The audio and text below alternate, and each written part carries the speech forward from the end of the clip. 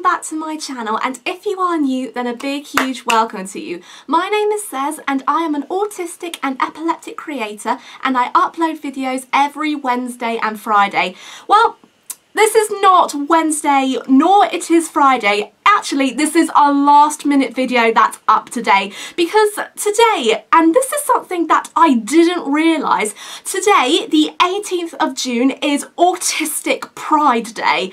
And I didn't even know it existed. I know I'm being a little bit repetitive, but I was quite shocked. Autistic Pride Day, I don't know if it's an American thing, but I'm guessing it might be. But Autistic Pride Day has been going since 2005 I know, that's how far behind I am. and at the moment, the hashtag Autistic Pride Day is going up on Twitter. So in honour to celebrate Autistic Pride Day, I thought I would just have a little sit down and share with you a little piece of something that I'm working on, but I am in the process of editing it. And if you know me, then you'll know that I have an obsession with Hey Arnold. And one of the main characters I included in my story which I created by myself, is on the autistic spectrum.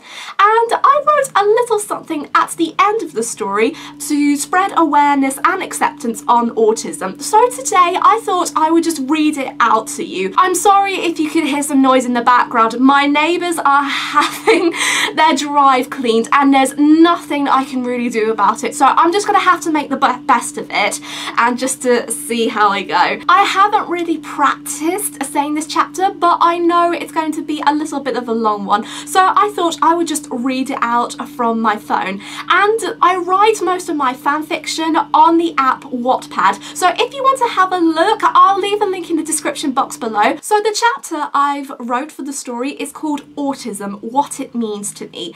And the little synopsis behind this chapter is when the character, the autistic character in the Hey Arnold fanfiction story, whose name is Sarah, is given a project by the teachers of PS 118 just to actually talk about in front of her class. This is a freelance project and throughout the story she had no clue what to talk about. But then during the whole process of the story she secretly thought about autism and this chapter actually talks about how she is presenting it to the whole class. Autism, what it means to me. According to the Oxford Dictionary, autism is a mental condition which can include having difficulties of communicating and forming relationships.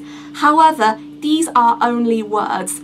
The Oxford Dictionary doesn't tell us how people see and embrace autism. In my opinion, it is a gift and not a label.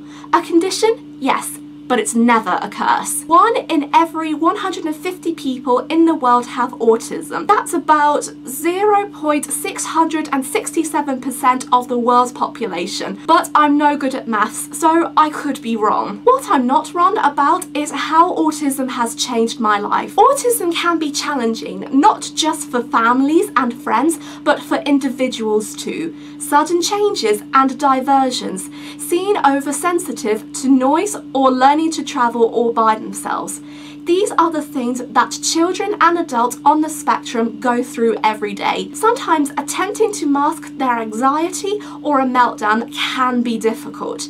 I heard stories of how many are being judged and bullied everywhere they go and it leaves them feeling isolated, frightened or very upset. I was a person who always gets bullied, first in the school playground, then on the streets as I would walk to the local hospital or Kensington Gardens. It made me feel very vulnerable and all I wanted to do was to shut myself away from the world. Luckily, I had friends to help me through it all.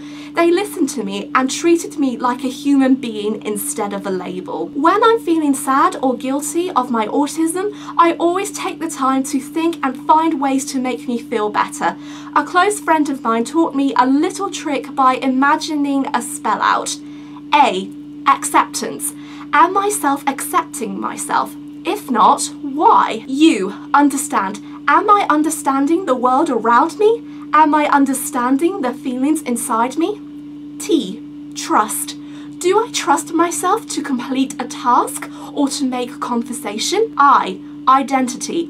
What's the story behind me? What's the story that's in front of me? Is it the people around me or is it only me? S. Say. Say how you feel.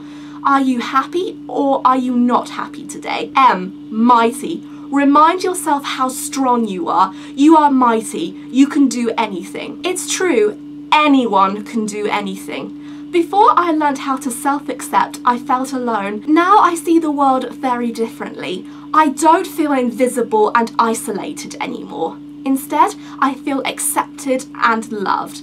My world is inclusive and I feel very happy, but I know that not everybody is lucky. However, there are ways that you can help someone who is on the autistic spectrum. You can help them with certain tasks or when they are feeling upset. You can include them in groups or you can have a conversation with them. The world is continuing to change, so why not start? Autism awareness is continuing to grow and I have a feeling that it will never ever stop. I'm autistic and I am proud. And that concludes the end of the chapter. And if you want to know what happens next, Sarah actually got an A in her project. So she got a very happy ending. And I really, really hoped that to give you a little bit of an insight on how Autistic Pride Day means so much to the autistic community. And that's really all I have to say because I covered it so much in the story. So with that, I'm going to be drawing this video to a close. I hope you really, really enjoyed this. It's not a very interesting video, but I really wanted to give you an insight on what autism not only means to a fictional character, but also means to me as a writer. And before I go, I want to leave you guys with a question. What are you planning to do for Autistic Pride Day? Are you doing something special with your family and friends? Or are you going to a little celebration event or a parade? Let me know in the comment section down below. I would really love to see what you get up to today. And until then, guys, keep on dreaming and never stop believing. And next time, I will see you on Wednesday. Take care of yourselves and have a brilliant Autistic Pride Day. Bye bye!